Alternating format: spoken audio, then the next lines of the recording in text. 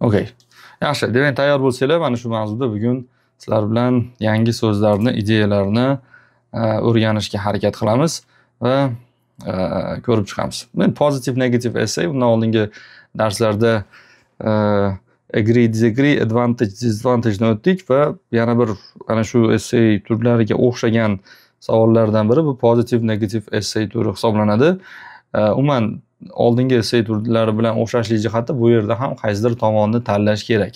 Ya'ni ikkita e, tanlov bor pozitiv yoki negativ tomonda ekanligingizni bildirishingiz kerak. Va mavzuyimiz qiziq mavzu e, hayotiy mavzu. Hammamiz e, bu mavzu bilan tanishmiz. Kimlardir uni boshidan o'tkazgan bo'lishi mumkin kimlardir bu narsani biladi.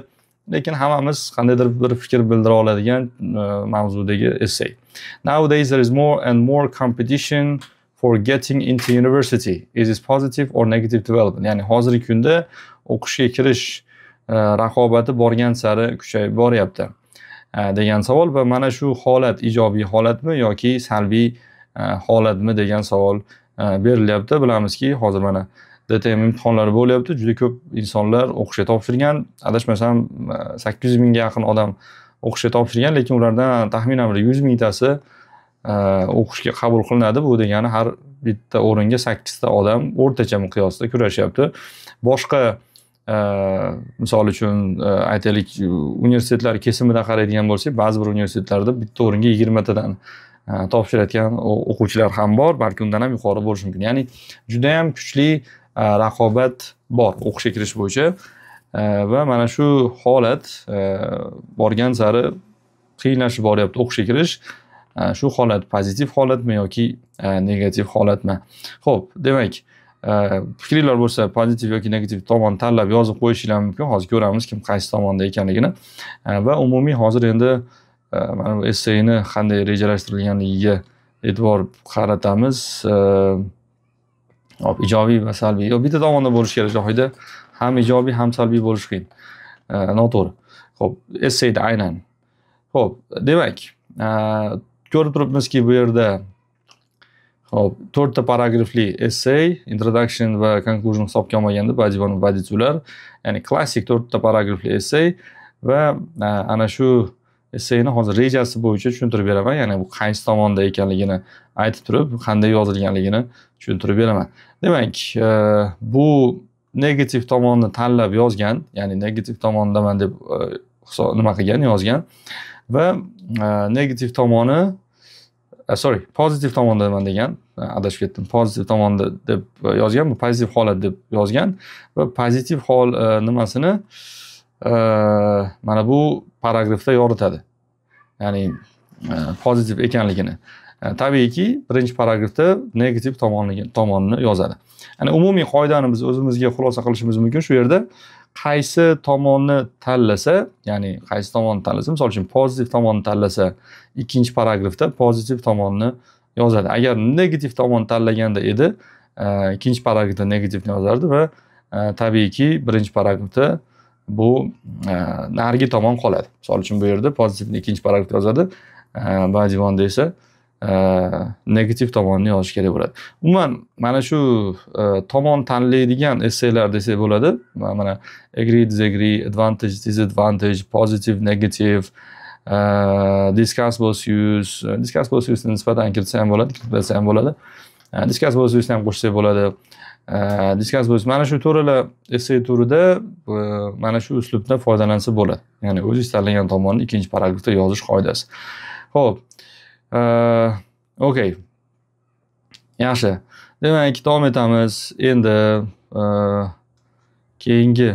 Demak qismlarni hozir tahlil qilishni boshlaymiz introductiondan boshlab. O'tgan safar biz gaplashib o'tdik. Ya'ni odatda ikkita paragrafli introduction bo'ladi deb aytib o'tgandim.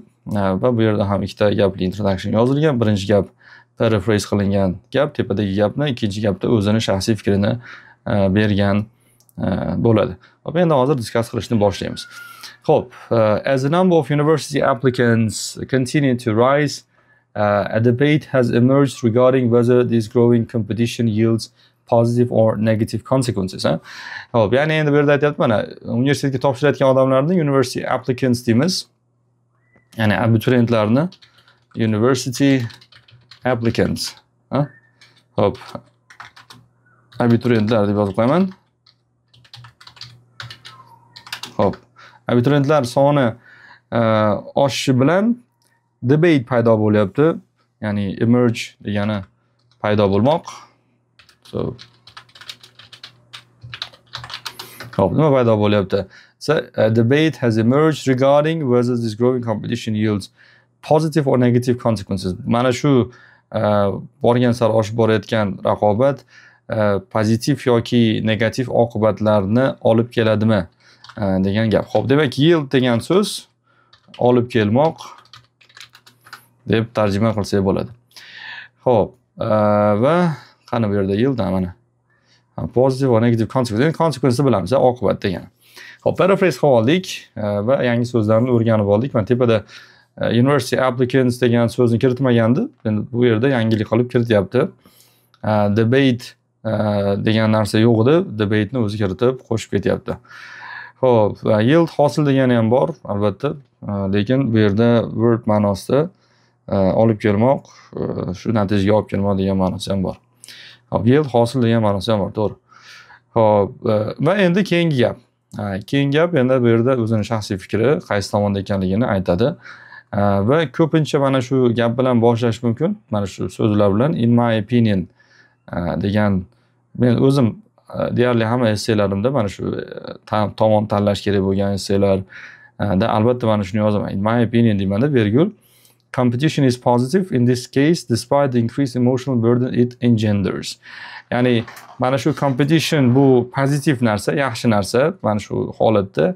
Garchi u o'sha topshiruvchilarga qanaqadir bir emotsional e, burden bo'lsa-da. Xo'p, endi mana shu so'zlarni bir qator ko'rib chiqamiz. Birinchisi emotional burden. hop emotional burden bu emotsional tak. O'zi burden so'zi tashvish degani e, financial burden desa ham bo'ladi. Hop family burden desa ham bo'ladi. Ho'p. Okay? Ya'ni tashvish degan so'zga to'g'ri keladi. Endi emotional burden bu e, emotsional bosim. Deb tarjima qilamiz. Endi to'g'ridan to'g'ri tashvish deb yozmaymiz. Emotsional bosim. Ya'ni e, o'qishga kirish bosimi o'qish tayyorgarlik e, mana shu emotsional bosim bo'ladi. Ho'p endi engender degan so'zga ham e'tibor berib qo'yamiz. Engender. Engender degani tug'dirmoq degani. Ya'ni mana shunaqa garchi u emotsional bosim tug'dirsa-da. Okey ho'p ya'ni olib kelsa tug'dirsa e, sabab bo'lsa mana shu engender so'zi bilan beramiz. Okay demak umumiy olib qaraganda u pozitiv tomonni tanlayapti va yozib qo'yapti. Garchi bu qanaqadir emotsional bosimni yuzaga keltirsada shuning uchun tug'dirsada e, baribir bu pozitiv holat deb e, aytib ketyapti.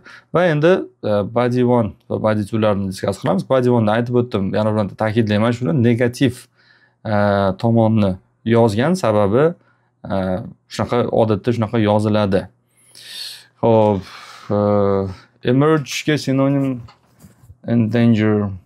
Yo unchalik emas unchalik emas endanger emas engender bo'ladi bu sal boshqacharoq emerge bu sal boshqacharoq engender sal boshqacharoq endi to'g'ri haligi paydo bo'lmoq tug'dirmoq degan narsa bir biriga yaqin lekin haligi o'rnida ishlatib bo'lmaydi ho'p Uh, okey yaxshi davom etamiz endi demak introduction o'tib oldik body one bu yerda uh, negativ tomonlarini yozadi qanaqa negativ uh, holatlarga olib kelishi mumkin va shuni hozir ko'rib chiqamiz ho'p boshladik One of the major drawbacks of increased university competition is the mounting pressure it places on students. Hop, demak, uh, one of the uh, major drawbacks of. Hop, mana shunaqa qilib boshlashinglar mumkin. Ya'ni esseyni boshlashda ishlatiladigan so'zlarni so'raydigan o'quvchilar bo'ladiyu. Mana shularga mana bir umumiy e, so'zlar to'plami ya'ni structure e, paragrafni boshida ya'ni katta bir salbiy tomonlardan biri university e, competitionni e, ortib borishini is a mounting pressure it places on students.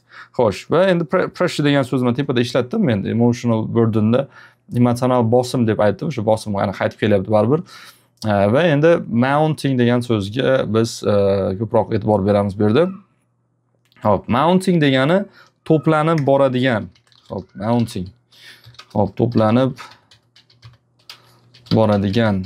Ya'ni borgan sari to'planib boradigan bir pressurda bu e, haligi imtihon yaqinlashgan sari sizga e, imtihonda successful bo'lishga bo'lgan Э, anaqa? Pressure ortib boradi. Ya'ni ortib boradigan demoqchi ortib boradigan to'planib boradigan pressure on students. Ho'p demak buni e, yashilda belgilab qo'yaman va bu paragrafni asosiy argumenti. Ya'ni bu ko'p katta bosimga sabab bo'ladi. Uh, va intense competition often leads to heightened stress levels, anxiety and mental health issues. Endi mana shu pressureni oqibatida uh, nimalar, qanaqa salbiy oqibatlar e, yuzaga kelishi mumkin? Ho'p intense degan so'zga e, e'tibor beramiz. Bu yerda intense degani e, tepada mana increase so'zini sinonimlari sifatida yozib qo'yaman. Intense yana boshqa narsalarni ham yozib qo'yaman. Ho'p stiff degan narsa bor fierce degan narsa bor. Hammasini plus competition so'zini ishlatishimiz mumkin. Ya'ni hammasi shiddatli raqobat deb tarjima qilamiz.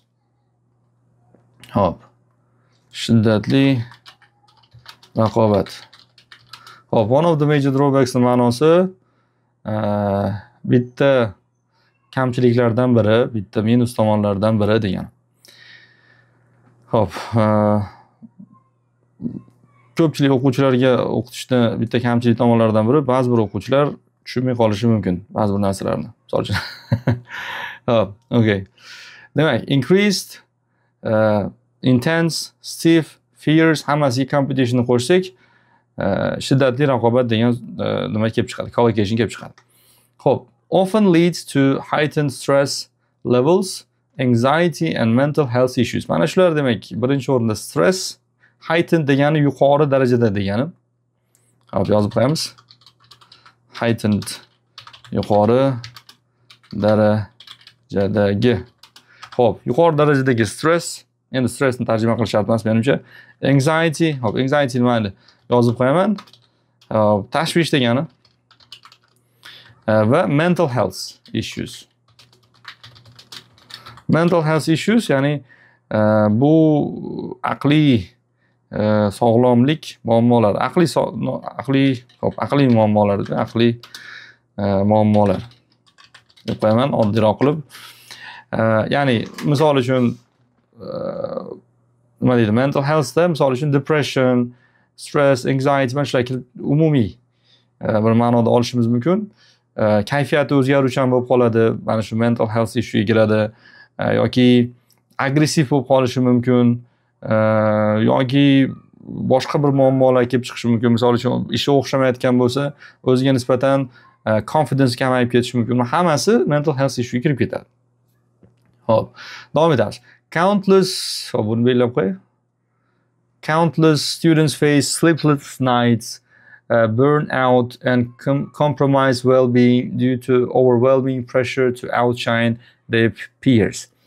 Ho'p outshinedan boshlasak birinchi o'rinda osonroq bo'ladi tushuntirish. Hop outshine. Uni yana bitta shakli bor outperform.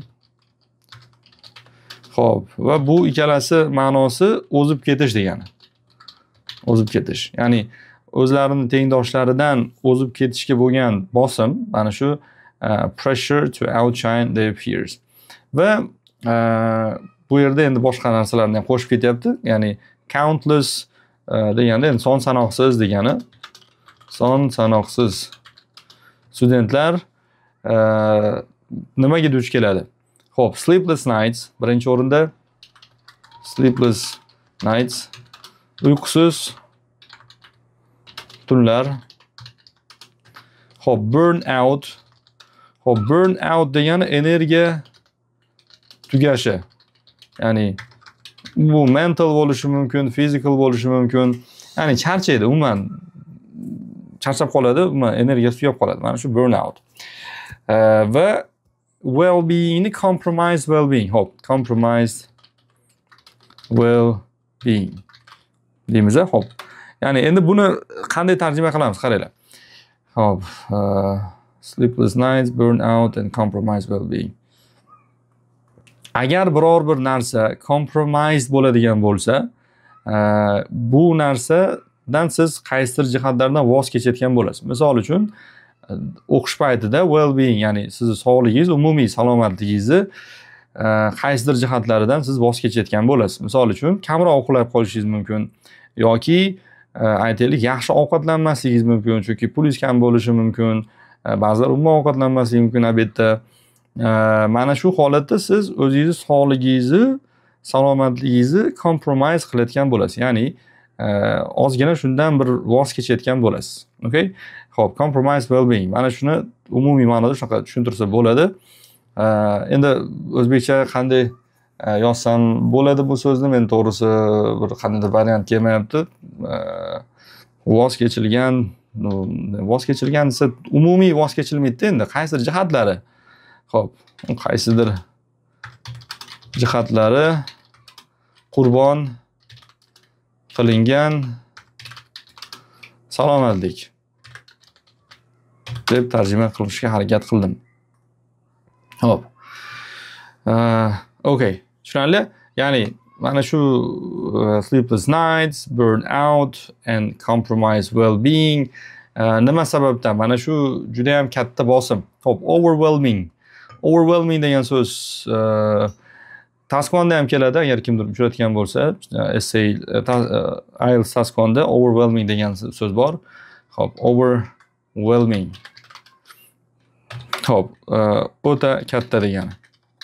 Ho'p. Misol uchun sizlarga aytaylik men video qo'yaman e, youtubega va videoni ko'rganlarni juda katta qismi e, uni pozitiv baholaydi.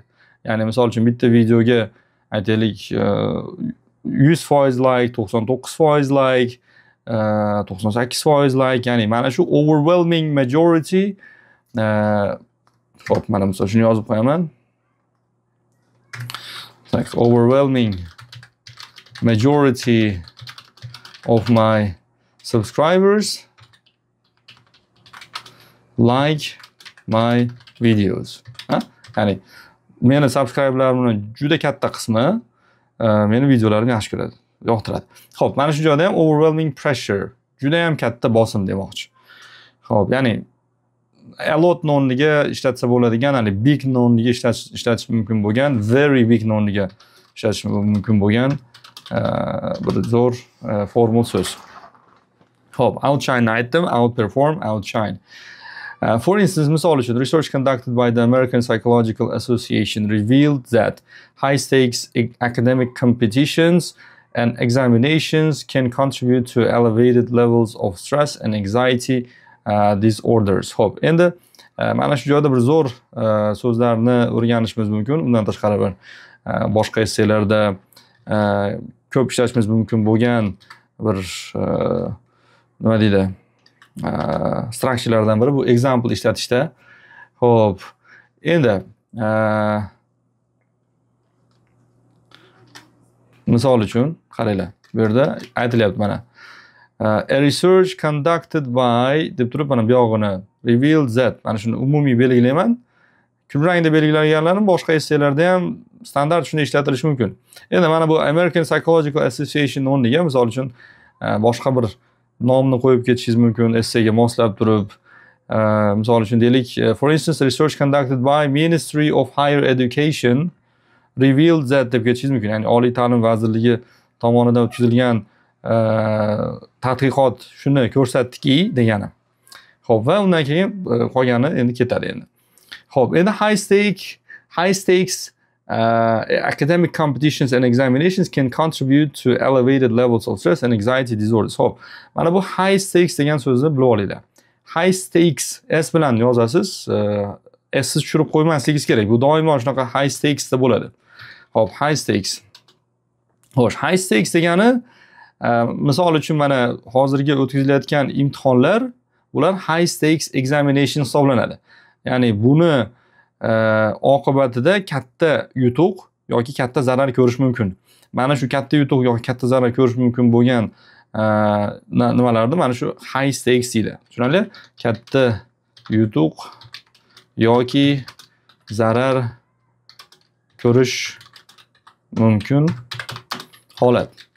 Ya'ni misol uchun deylik, maktabdagi imtihonlar, e, oraliq imtihonlar bular high stake emas. Ya'ni u sizni taqdiringizni hal qilib yubormaydida. Lekin mana bu e, imtihon, ya'ni kirish imtihoni bu high stakes examination bo'ladi. Sizlarni topshirayotgan multi level imtihoninglar ham high stakes examination hisoblanadi.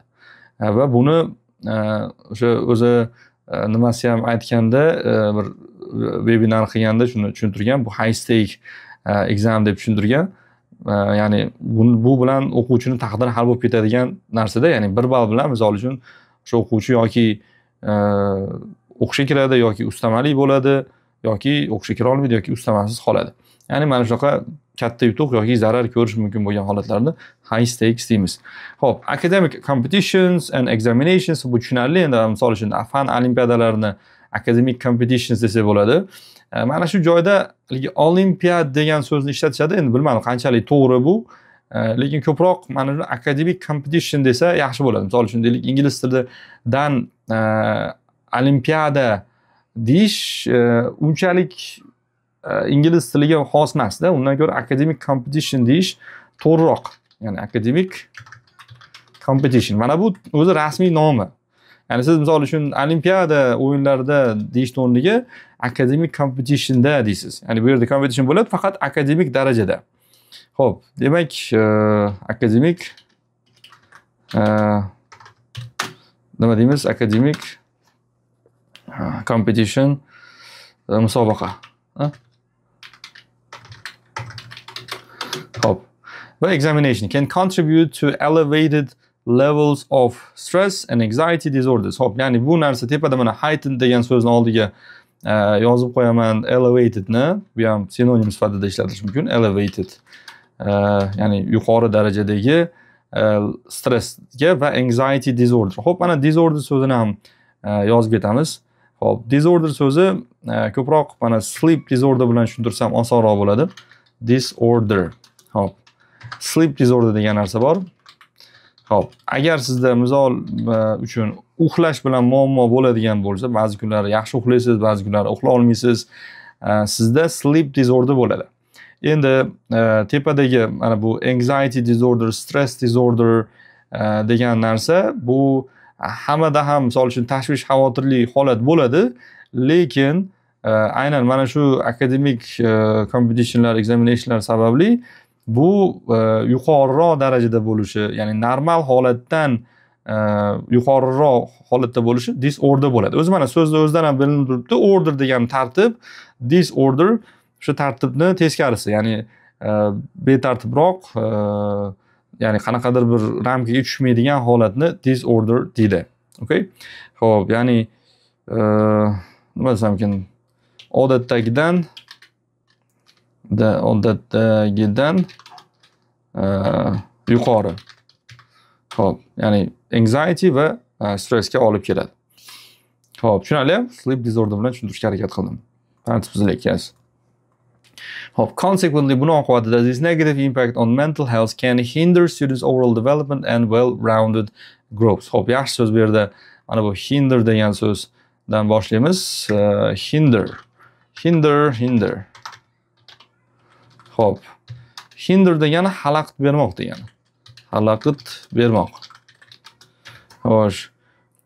Aytaylik, students who ask uh, un questions that are not directly related to the class hinder Uh, hinder misol uchun uh, the flow of the lesson. Ha? Ya'ni uh, ba'zan shunaqa uh, nima deydi uh, sekin gapirib o'tib ketaman gap egasini topib oladigan degan students who ask questions that are not directly related to the class ya'ni darsga to'g'ridan to'g'ri bog'liq bo'lmagan savollarni beradigan o'quvchilar darsni flowini darsni ketishini xalaqit berishadi darsni chiroyli o'tishiga flow bo'lishiga xalaqit berishadi ho'p va this negative impact yes aytaman Oh, this negative impact on mental health can hinder students' overall development.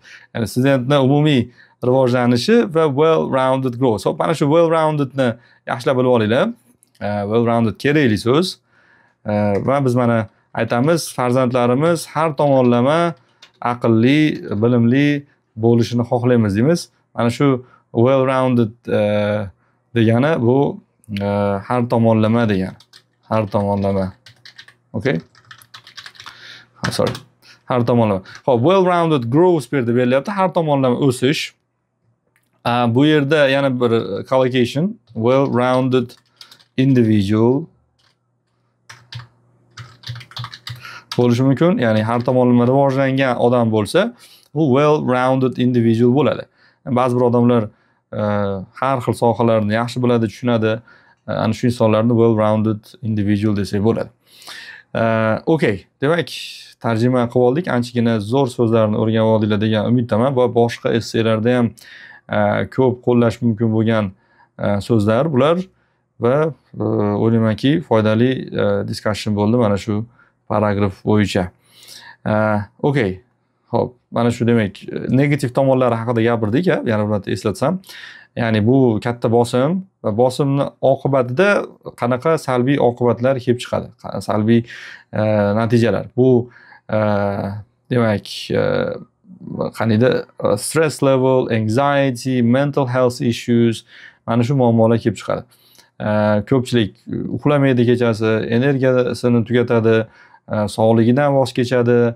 Э, chunki juda katta bosim bor boshqalardan ko'ra э, yaxshiroq natija ko'rsatishga va albatta iloji bo'lsa har bir e, paragrafda mana shu for instance, for example bo'lsa e, juda ham katta plus e, chunki shartini o'zida berilgan bo'ladi. Endi ko'pincha bu IELTSda ko'proq hisobga olinadi, ya'ni ham ko'proq e'tibor beriladi. Agar multi levelda ham endi bu narsa to'g'ri bo'lsa kerak, chunki o'sha Э, IELTS э, nimasi bo'yicha marking criteria bo'yicha baholanadi.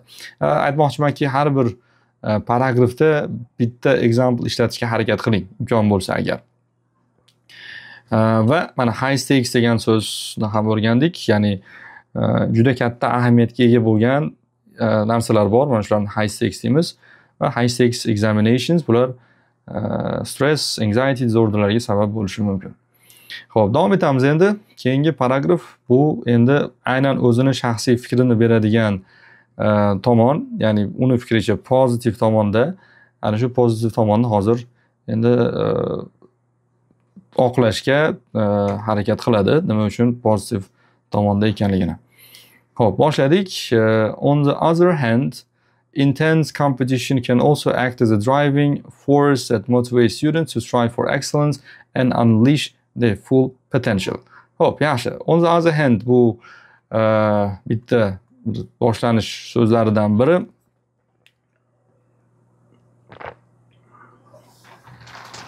Xo'p, intense competition deb oldingi bilan bir xil ishlatib qo'yapti. Misol uchun fierce, stiff competition ishlatsa yana ham chiroyliroq chiqardi. Endi intense ishlat ishlatyapti, mayli. Hop, can also act as a driving force that motivates students to do something. Hop, driving force degan narsa nima? Hop, driving force bu sizni o'sha biror bir ishni qilishga majburlaydigan bir kuch. Ha? Hop, ya'ni sizni nima deymiz endi? Hop, driving force o'zbekchasi. Tak, majburlovchi kuch. Turtki, ha, turtki desak bo'ladi. Hop, misol uchun, yana sizlarni yes, turtki. Xo'p, aytaylik, mana kimdir bu imtihon topshirishdan maqsad bu ko'proq pul olish, ha? Xo'p. The driving force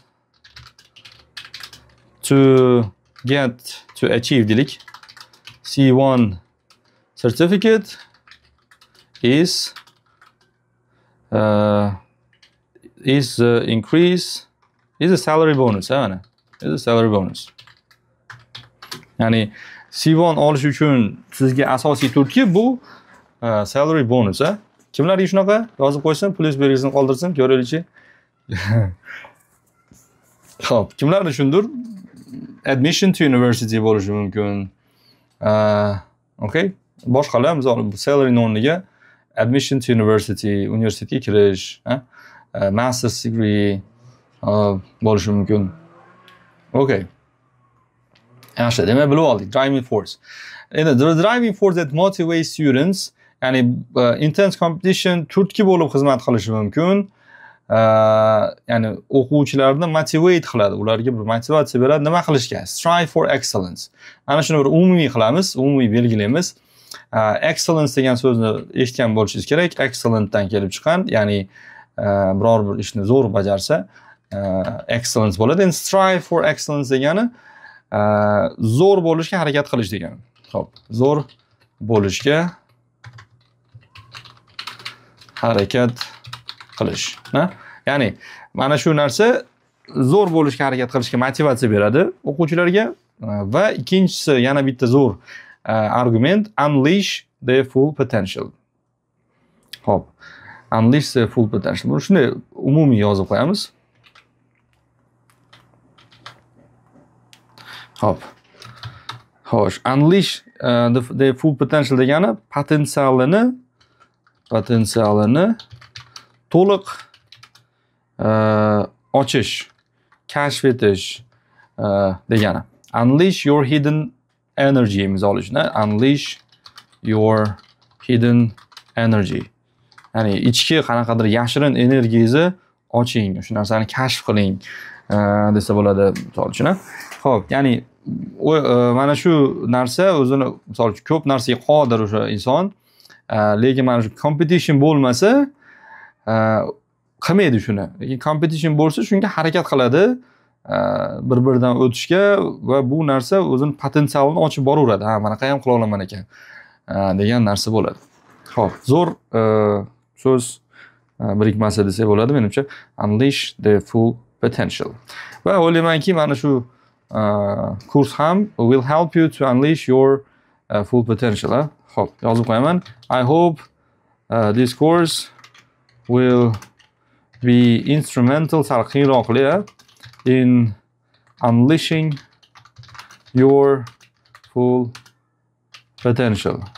Ya'ni sizni to'liq potensialingizni ochish yo'lida mana shu kurs instrumental bo'ladi ya'ni muhim rol o'ynaydi eng asosiy rol o'ynaydi deb aytsak bo'ladi.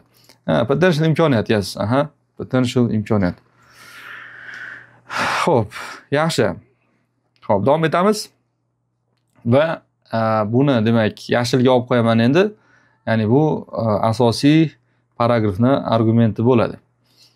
Aha salohiyat yes aha potensial o'zbekchasi salohiyat desak yana ham aniqroq tarjima bo'ladi. Ho'p ya'ni salohiyatingizni bor salohiyatingizni ochib beradi degan umiddaman e, ushbu kurs. Ho'p when faced with a highly competitive environment students are incentivized uh, to become more focused disciplined and goal oriented agar o'quvchilar mana shu e, raqobatli muhitga duch kelishsa Uh, competitive environment highly competitive environment. Ya'ni yuqori uh, raqobatli muhitga duch kelsa studentlarda nima paydo bo'ladi? Insentiv paydo bo'ladi. Ho'p insentiv degan so'z ham uh, tepadagi mana bu turtki driving forcega o'xshaydi. Ya'ni turtki okay? Ya'ni ularda endi incentivize degani ularda qanaqadir bir так incentivized xo'sh. Insen hozir. In ah s qolib ketdi. C. Ho'p incentivized ya'ni endi ularda motivatsiya paydo bo'ldi. Aha. Так qanaqa to'g'ri tahlil qilish haqida aytib o'ting iltimos. Yoki ho'p aha. Ya'ni incentivize degani e, motivatsiya paydo bo'lishi. Ya'ni nima uchun sizlar mana o'qituvchilar o'qiyapsizlar? Shu general kursda multi level topshirmoqchisizlar chunki sizlarda insentiv bor. Chunki sizlar incentivized bo'lyapsizlar. Ya'ni incentivized e, bo'lish orqali sizlar o'sha e, c1 darajasini olishga sizlarga turtki paydo bo'ladi motivatsiya paydo bo'ladi ya'ni birinchi motivatsiya bu deylik salary bonus bo'lsa ikkinchi motivatsiya misol uchun e, bu ish joyingizda qolish ya'ni ish kimgadir berib qo'ymaslik e, kimgadir to be the best teacher bo'lishi mumkin mana shoira usmonova e, holatida. Lekin ko'pchilik uchun e, haligi rus tilida bitta gap bor edi spasti свою шкуру deydi. O'zini terisini saqlab qolish. Shunaqalar bormi? Plyus yopib berib qo'yinglar. Ya'ni ishidan bo'shamaslikda endi bu narsani to'g'ri qabul qilish kerak.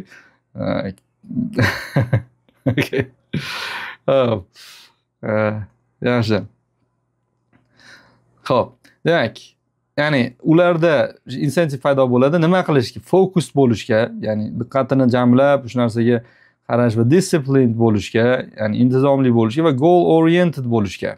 Ya'ni mana shu ko'nikmalarni rivojlantiradi deyapti Э, goal oriented degani bu ya'ni maqsad sari intiladigan insonni goal oriented deydi. Goal oriented e, maqsad sari intiladigan. Goal oriented teacher bo'lishi mumkin goal oriented student goal oriented person goal orient I am goal oriented deyishingiz mumkin. Hop aha hop okay yaxshi. Dekretga chiqmas degan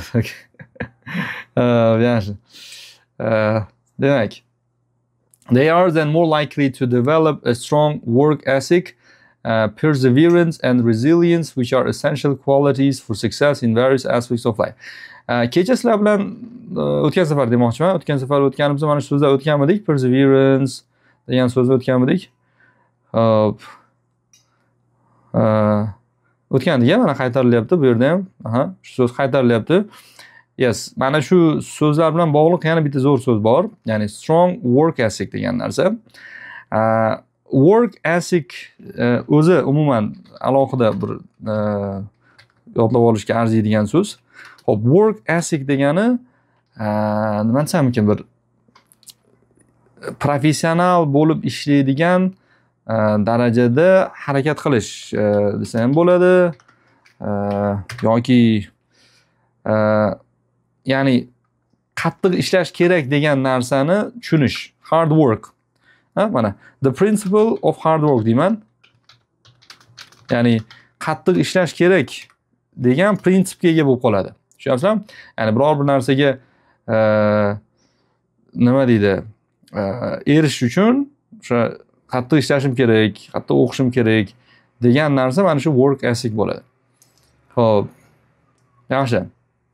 Demak e, mana shunaqa e, nima hosil bo'ladi unda? E, ko'nikma hosil bo'ladi. Perseverance endi buni tushundik o'tgan safar aytdik ya'ni qiyinchiliklarga qaramasdan harakat qilish va resilience buni ham o'tgan safar o'tdik. Perseverance resilience resilience bu chidamlilik degani. Resilience hop. Hop okay. Chidamlilik which are essential qualities for success? Uh, iroda ha. Qualities for success in various aspects of life. Va mana shu narsa eng asosiy bir uh, muvaffaqiyatni kaliti hisoblanadi. Ya'ni work ethic qattiq ishlash kerak. Perseverance bo'lishi kerak qiyinchiliklarga qaramasdan davom etish kerak va resilience bo'lishi kerak. Ya'ni iroda bo'lishi kerak. Qandaydir chidamlilik bo'lishi kerak. Shunda o'sha inson successful bo'lishi mumkin va mana shu essential quality hisoblanadi. Ya'ni asosiy bir sifat essential quality yozib qo'yaman. Buni ham hop asosiy sifat. Va endi hayotni har xil turli xil javhalarida.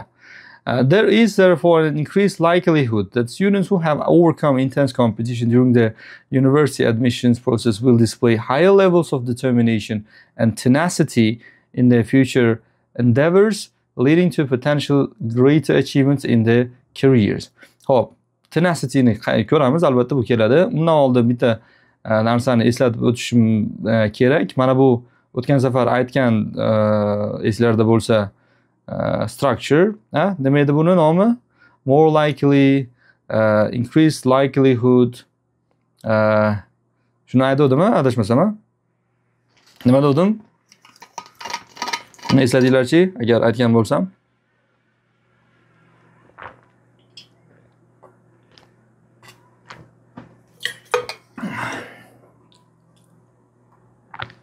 Xo'p, ehtimoliy, ha. Aha, okey. Ya, muloyim gapirish, to'g'ri. Aha, ya'ni dogmatik bo'lmaslik kerak degandim. Ya'ni aniq shunaqa bo'ladi deyish mumkin emas. Shunaqa bo'lishi mumkin. More likely, increased likelihood, highly likely shunaqa so'zlardan foydalanish kerak. Ko'ryapsizlar, mana shu qonun qoidalar har doim amalda. Yuqori e, yozadigan o'quvchilarni e, va kandidatlarni esselarda doimo bu narsa ko'rinadi. Ya'ni aniq bo'ladi demaydida, likelihood yuqori, more likely deb gapiradi.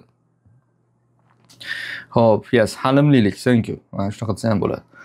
Xo'p, therefore an increased likelihood that students who have overcome intense competition. Mana shu e, raqobatda yutib chiqqan e, desa overcome bo'ladi. So, overcome yengib o'tish, ha?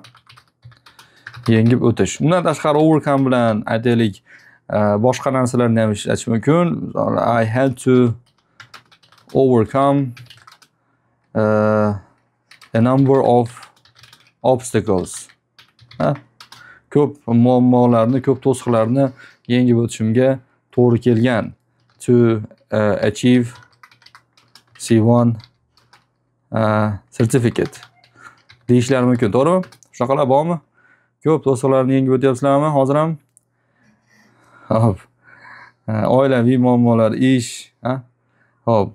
Okay. Yaxshi. Sizlarni hayotinglar bog'lab aytyapman, atay eslab qolishingiz osonroq bo'lishi uchun. Hop, ya'ni mana shu demak o'sha jarayondan o'tgan o'quvchilar university admission processdan ular kelajakda yuqoriroq determination determinationdan o'tadiga qat'iyat ya'ni biror bir ishga kirishda ham yoki o'qishni davom ettirishda ham ularda qat'iyat bo'ladi. Ho'p va tenacity. Ho'p tenacity ham zo'r so'z. Tenacity ham mana shu e, tepadagi mana bu perseverance resilience e, degan so'zlarga e, mos keladigan so'zlardan biri tenacity. Hop. Okay. Being determined, determination. Yeah, shunaqa determination'ni bir turida bu ham. Uh, determination tak. Aha, ya'ni boshlagan ishni davom ettirish ekan. Boshlagan ishni davom ettirishga bo'lgan uh, o'sha qat'iyat. Hop, boshlagan ishni davom ettirish. Ha, ya'ni tepadagi o'sha resilience, uh, perseverance hammasi bir biriga sinonim tenacity determination bular hammasi sinonim sinonim hisoblanadi ho'p va in their future endeavors. Ho'p endeavor degan so'zni ham alohida yozib olamiz ya'ni kelajakdagi ishlari deymiz o'zbek tilida kelajakdagi ishlarim desa in my future jobs yoki work emas ya'ni bu endeavor bo'ladi ishlar endi ishlar deganda faqatgina aytaylik biror bir ishga kirib pul topadigan joy emas. Aytaylik bu biznes ishi bo'lishi mumkin bu oilaviy ish bo'lishi mumkin bu sog'lik bilan bog'liq bo'lgan ish bo'lishi mumkin. Ya'ni umumiy ma'noda ishni agar olib qaraydigan bo'lsak bu endeavor bo'ladi. Ya'ni qilinish kerak bo'lgan ish. Aytaylik siz kelajakda qanaqadir bir yutuqqa erishmoqchisiz c1 sertifikat olmoqchisiz zo'r o'qituvchi bo'lmoqchisiz to'g'rimi? Bu haligi job deyolmaysizda my future job is. Э, my future work is demaysizda misol uchun e, aytaylik kelajakda men C1 sertifikati olmoqchiman va bu meni eng e, haligi e, muhim ishlarimdan biri deydigan bo'lsangiz it's one of my important uh, works demaysiz. It's one of my important endeavors deysiz. Tushunarli? Ho'p eng bilan sinonim bo'lishi mumkin yani nisbatan. Ho'p va uh, leading to potentially greater achievements in their career. So o'tgan safar yana mana shu ing uh, li shaklni ham ko'rgandik. Yana shu narsani uh, qaytarib kelyapti. Uh, o'tgan safar o'tdik ing ni aytdimi? Ya'ni bu narsa uh, mana bu potentially yana kelyapti. Mana qaranglar, ya'ni uh, yes, leading to potentially greater achievements in their careers. Ya'ni yuqoriroq natijalarga erishishga olib keladi. Helping yes. Aha helping. Endi mana shu leading ho'p ko'ryapsizlar mana esselarni tahlil qilish jarayonida e, men sizlarga eng kerakli eng ko'p qaytariladigan e, o'sha qaytariladigan structurelar ya'ni esseyni murakkab qilishni yo'llarini ham tushuntirib ketyapman. Bu birinchi esseyni tasavvur qilib bo'lmaydigan e, structure bu mana shu ingsiz o'zim ham yozganimda albatta ishlataman. Mana shu ingsiz qutulib bo'lmaydi. Murakkab essey yozib bo'lmaydi desam xato qilmagan bo'laman. Ya'ni mana shunaqa e, ikkita gapni bog'lash orqali ing orqali bog'lash bu eng e, birinchi o'rindagi fundamental e, bilishingiz kerak bo'lgan murakkab gap tuzilish yo'li.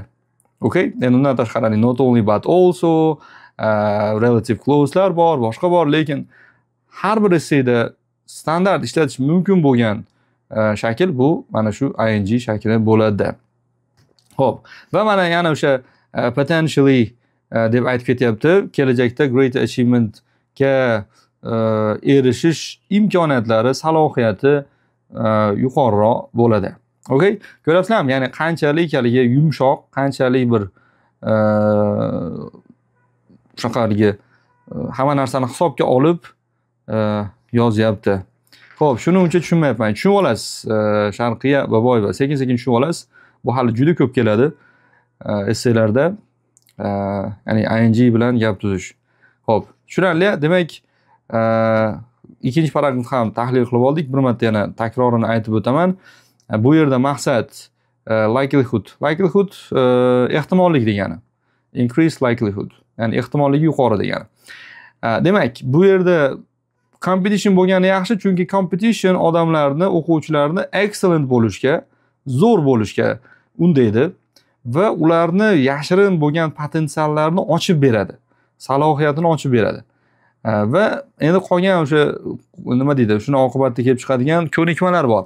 Ya'ni fokus bo'lish disiplin bo'lish goal oriented bo'lish shularni majbur qiladi o'quvchini shunaqa bo'lishga. Va bu narsa kelajakda o'sha hard work perseverance resilience tenacity determination mana shu narsalarni o'zida sekin sekin hosil qiladi e, va uni kelajakdagi yuqori natijalarga erishish imkoniyati ham yuqoriroq e, bo'ladi. Ho'p tushunarli. Ya'ni siz ham hozir mana onlayn kursda o'qib mana shu e, nima deydi mana shu skilllardan qaysidir birlarini sekin sekin hosil qilyapsiz. Agar siz yetarli darajada uzoq vaqt o'qisangiz endi onlayn o'qishingiz mumkin offlayn o'qishingiz mumkin self study qilib o'qishingiz mumkin ya'ni aynan onlayn e, o'qishingiz shart demoqchi emasman bu bilan. Reklama yo'q. Shunchaki yetarli darajada shu narsani uzoq davom ettira olsangiz albatta maqsadga erishasiz chunki ko'pchilik yarim yo'lda tashlab ketadi. Bir oy o'qiydi bir yarim oy o'qiydi keyin yo'q. Keyin yana qaytadan boshlaydi keyin yana boshdan boshlashga to'g'ri keladi. Chunki bilim o'qimaganingiz sari orqaga qarab ketaveradi. Sekin sekin sekin sekin orqaga qarab ketaveradi. Shuning uchun e, albatta harakat qilinglar to'xtovsiz uzluksiz o'qishga e, aytib o'tdim onlayn o'qishingiz mumkin e, offlayn self study qaysi biri sizga qulay bo'lsa lekin uzluksiz bo'lsin. Orada katta gap uzilish bo'lsa bilimingiz ancha orqaga ketib qoladi. Ho'p shuning uchun o'sha kitoblar o'qib turish kerak podkastlar eshitib turish kerak so'zlar yodlab turish kerak esseylarni takrorlab turish kerak. Shunda yaxshi natijaga erishasizlar. Endi bu faqat haligi e, sertifikatga ega bo'lib oldim e, bo'ldi shu bilan degani emas u odamlar yutkazadi. E, doimiy ravishda o'zini ustida ishlash kerak. Ayniqsa agar u o'qituvchi bo'lsa. Bo'lmasa joyini yo'qotib qo'yishi mumkin kelajakda. Ho'p davom etamiz. Conclusion. Э, qismiga qaraymiz. Conclusion qismi ham odatdagidek ikkita gapdan iborat. Birinchi gapimiz e, tepadagi fikrlarni bir jamlanmasi e, nima uchun bu e, pozitiv ekanligini aytib o'tadi. Va ikkinchi gapimiz bu tavsiya aytib o'tdim recommendation yoki prediction shaklida tugaydi. Va mana shuni hozir bu yerda recommendation shaklida tugatyapti. Ho'p. In conclusion xulosa qilib aytganda escalating competition for university admission increases stress levels among students yet more importantly fosters personal growth.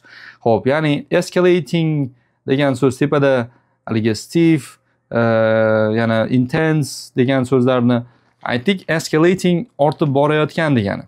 Hop ko'tarilayotgan escalating cost of education deyish ham mumkin. Ortib borayotgan o'qish narxi misol uchun. Э, ko'tarilib borayotgan ho'p ya'ni university admission competition ko'tarilib borishi yuqorilab borishi studentlar orasida stress holatiga olib keladi. Stress asosiy muammo bu stress. Stress levelni kuchaytiradi. Yet more important lekin undanda muhimroq narsa bor. Undanda muhimroq narsa bu personal growthni foster qiladi. Ho'p fosterni aytuvdimmi aytmadimmi eski o'quvchilarim biladi buni. Yes mana сразу mana yozyapti. Aha imkoniyat yaratish bebinas aha yes. Ho'p ko'ryapsizlarmi yana qaytarilyapti. Ya'ni esseylarni o'rganishni zo'r tomoni e, shuki shu juda ko'p qaytariladi. Ya'ni so'zlar qaytarilgan sari sizga singib ketadi. Endi nima uchun e, biz deylik e, writingni qanaqadir kitobdan o'rganmayapmiz? Aytaylik manaqa study writing skills shunaqa o'xshagan kitoblar boru. Nima uchun aynan biz har safar essay discussion qilyapmiz? Chunki ko'proq essay ko'rganingiz sari mana bunaqa so'zlar ko'p qaytariladida. Boshqa kitob haligi e, yozishni o'rgatadigan kitoblarda bir marta qanaqadir essayni ko'rsatib qo'yishi mumkin bo'ldi. Shu bilan tamom. U qaytib kelmaydi u so'z deyarli. Uni o'rniga misol uchun bitta kitobni o'rniga e, juda ko'p essay tahlil qilsangiz haqiqiy sizda e, o'sha esingizda qoladi. Ho'p ishlatyapman ustoz bu xato emasmi? Э, xato in conclusion o'rniga in deduction deyish noto'g'ri. Umida in conclusion deb qo'yavering. Ba'zi bir narsalarda haligi yangilik qilish kerak yo'q. Bu hech qanaqa sizga ball bermaydi. In conclusion o'rniga in deduction deb xato yozibdi э, ballni ko'tarib beray э, demaydi. Ho'p in conclusionmi in conclusion bo'ldi tamom. Ortiqcha nimani keragi yo'q yangilikni keragi yo'q. Asosiy joylari ichidagi argumentlar. Ho'p ya'ni shaxsiy rivojlanishni ya'ni personal growth bu shaxsiy rivojlanishga zamin yaratadi. Tushunarli? Ya'ni uh, fosters personal growth. Ho'p va endi oxirida uh, nima? Tavsiya. Individuals must learn methods to manage their anxiety as it will prepare them for greater achievement later in life. Endi aytyapti mana shu to'g'ri stressga olib keladi va uh, shuni nima qilishni o'rganish kerak? Shuni boshqarishni o'rganish kerak shuni yengib o'tishni o'rganish kerak. Ya'ni e, o'sha stress darajasini stressni yengib o'tish stressni yengishni o'rganish kerak. Boshqarishni o'rganish kerak.